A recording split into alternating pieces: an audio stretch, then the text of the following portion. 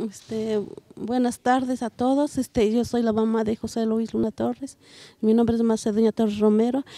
pues les invitamos a todas las personas a nivel nacional e internacional que, que, se asomen a nosotros a la, a la marcha, a la meeting y que nos ayuden, pues que no nos dejen solos para encontrar a nuestros hijos, ya que el gobierno nos está haciendo siempre mentiras, siempre mentiras y nunca nos dice la verdad. Porque este, también le pedimos pues que sí que no nos dejen solos para que ya no haya más más desapariciones y que para que el gobierno vea que sí la gente que todo nos está apoyando pues gracias a Dios que siempre nos han estado apoyando no nunca nos dejan solos. Gracias